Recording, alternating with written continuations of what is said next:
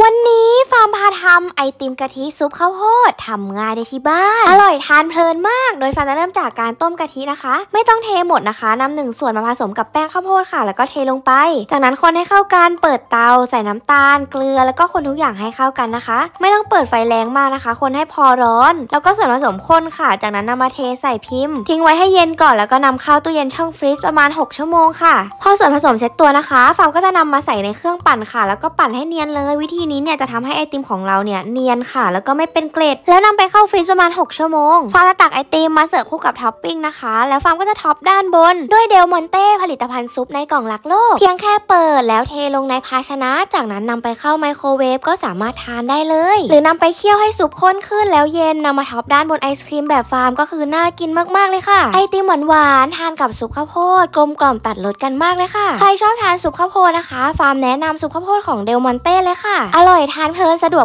มากๆ enjoy eating ค่ะ